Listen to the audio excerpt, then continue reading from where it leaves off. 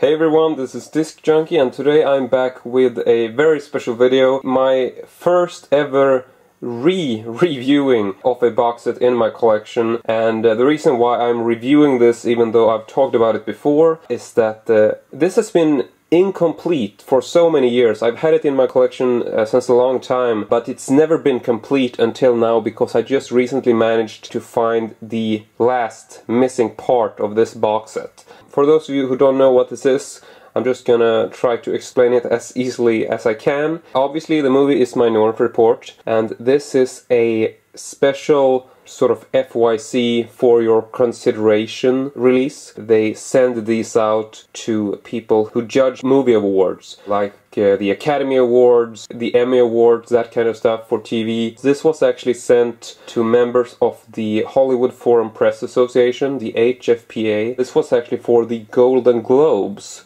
As for limitation, I believe that this is actually limited to around 93 copies. And if you want to know more about this release, check the link in the video description to go to my official website. So, uh, it's been called the aluminum tech case version, it's been called the screening edition attaché case, but here's what it looks like. We do have a very good looking uh, aluminum, or at least partially aluminum. I'm guessing, you know, some of the parts, like this on the end here, uh, is sort of, you know, silvery type plastic. You know, like for instance, these parts on the end, that is definitely aluminum because it feels very cold in comparison to the other parts. And I really like the little logo here.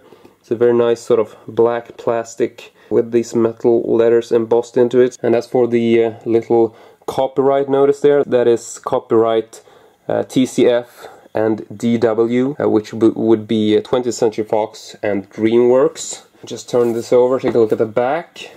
It's actually all blank, there's really nothing there. And it's just the downside of it. Got little hinges on it. Basically look the same all around the edges. Got the black corners and stuff. Here is the locks. You'll notice the little logo there, which says TZ and that is actually a logo for company TZ Case International, I think they're called. We got two locks, which uh, there is keys included, but you don't really need it because you can actually turn it and sort of lock it uh, just by twisting this. So you can do that with your fingernails or you can do it with a tool. Here it's just, you know, a handle, and the handle is actually plastic, even though it looks, you know, pretty classy. It is a plastic handle. So to open, we just take these two buttons and slide them to the side. So there you go. Now I'm gonna lay this down. It doesn't really pop open, there's no pop open effect, but it is actually quite a tight fit, so you will soon realize uh, why it sort of almost pops open. So this is the contents, and I'm gonna begin by taking everything out. Uh, here are the two keys, which as you can tell, you know, it's really not a lot of a, much of a key. It's like you can just as easily use uh, like a paper clip or something.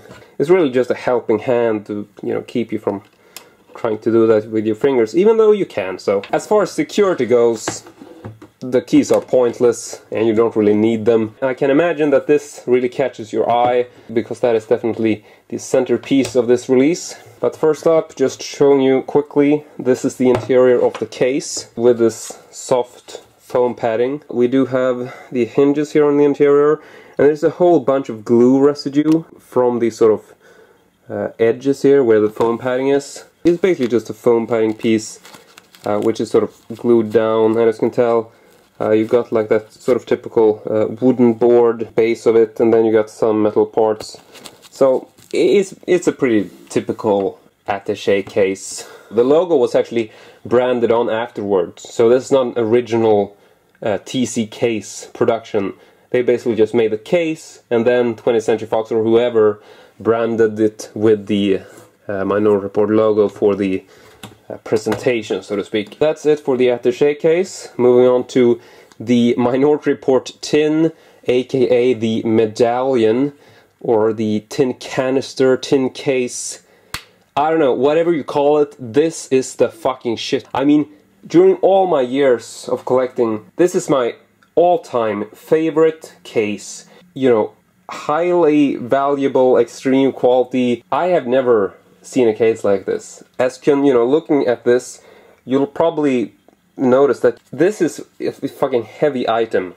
Uh, I actually have a, a, you know a scale right on the side here uh, and can tell you that it weighs approximately 920 grams so it's uh, it's very close to weighing one kilo which uh, is a very impressive weight uh, for a metal case of this size. I mean it's basically the size of a portable CD player or something. It's made by a company called MKTI uh, and they usually manufacture like machinery parts and they did this special case.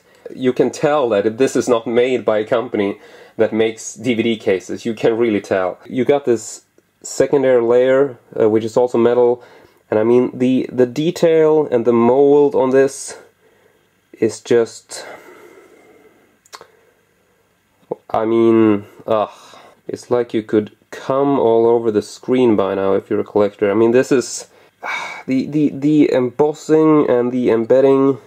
It's just it's fucking awesome and you could this is like the one case I own that would seriously survive a nuclear blast. I mean, you know, if my house burned down and my collection was destroyed, this would be in the ashes and it would just be dirty. It wouldn't be destroyed. But anyway, now I'm gonna just open it, which is done really easily and you just simply grab the bottom, you grab the top, and you just twist it. So doing that a few times, you will eventually notice that the lid comes loose. And this is a very, very simple construct, but at the same time it's just so ingenious.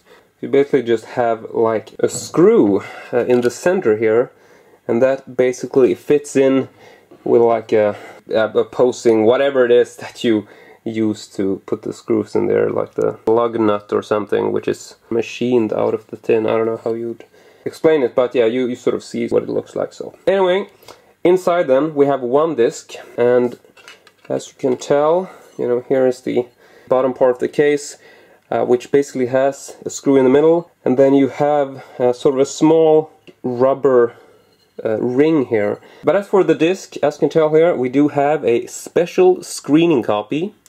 May not be sold, rented or copied, property of 20th Century Fox Corporation, etc. And just moving in on the fine print here. Um, sorry to keep having my reflection of me and my camera. Hello! But uh, that's just the way it is. So here you can read the fine print. I don't know, just pause it and read it. I don't have all day. Then we got DreamWorks, 20th Century Fox, Minority Report, and copyright 20th Century Fox Filmed Entertainment 2002. As for the disc contents, I can mention this is an American promotional release, but it's basically just the movie. Uh, there's no special features, and you know, usually there aren't any special features on these promotional uh, releases but you know just to mention there's there's no special features. Uh, and there's no subtitles. The movie basically just starts automatically after some uh, legal disclaimers. Not much else to say about that.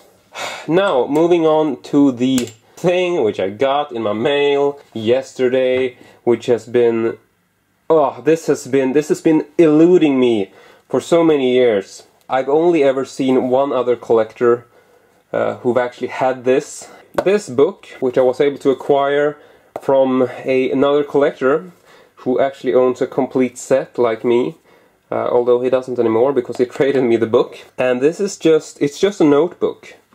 Uh, you know, it doesn't have any, any you know, info or stuff like that. It's just a notebook. Uh, but you'll notice that it does have sort of like a watermark featuring the uh, Minority Report pre-crime logo.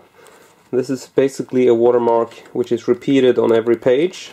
Uh, and I can imagine that, you know, this is one of the reasons why this is so rarely seen, even with this box set. You know, most people who own this don't own a complete set. They might have the attaché case, which is extremely rare. They might have the tin case, which is not as rare, but still rare. This exact tin case uh, is also used in a different set, which is the uh, Minority Report press kit, uh, American version. And there, you know, you don't get the screening disc, which features the movie on DVD, uh, but instead you get two discs, which are CD-ROM discs, and they only feature like promotional stuff like trailer and like a small making of clip or something in QuickTime format, still pictures and stuff. You know, it's not a DVD So a lot of people, you know, got this tin by getting the press kit because that exists uh, in more copies. I think that's like roughly 1200 copies. So most people would have the tin, but they might not have the screening disc, they might have the, you know, press kit discs.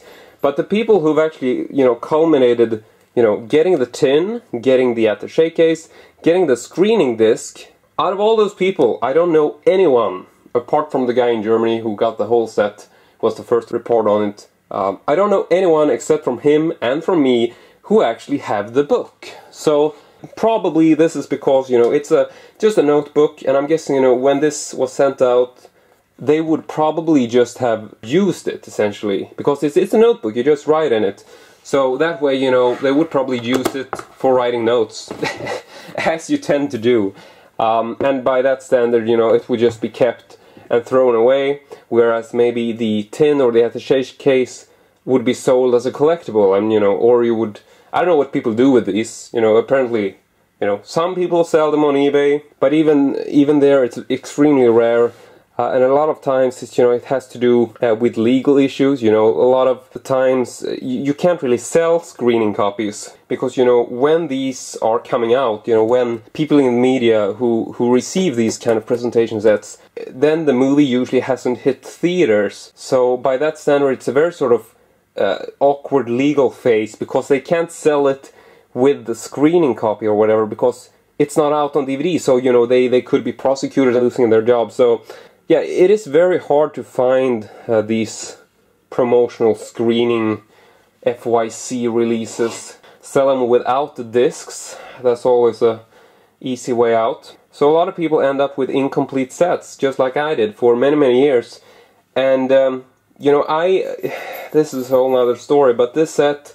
I bought this in pieces, you know, I got the disc from one source, the tin from another, uh, got the the attaché case from an, a third source, got replacement locks from a fourth, and eventually last, uh, you know, I got the book from a fifth source. So it took five different people uh, to complete this, and it took years, and it costed, you know, not as much as, you know, it would cost to buy this complete, which is impossible anyway. Um, but, uh, yeah. Uh, I bought this, you know, in total it was a pretty good price, even though it's expensive. Uh, but you know, if I sold this today uh, to fellow collectors, I would easily make like five times what I have spent in total. So it's taken a lot of effort to be able to show this to you. Uh, one of the cornerstones of my collection. Hope you like this, uh, and if you have any questions, I am definitely the guy to go to. So yeah, leave comments below or whatever. Thank you very much for watching, hope you enjoyed it, and as usual, hope to see you all next time.